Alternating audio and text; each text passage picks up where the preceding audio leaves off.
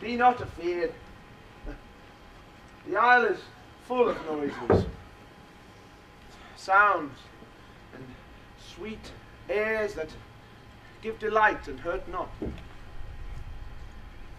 Sometime a thousand twangling instruments will hum about mine ears, and sometime voices, which if I then had waked after long sleep, would make me sleep again. and in dreaming, the clouds, methought, would open and show riches ready to drop upon me. But when I waked, I cried to dream again.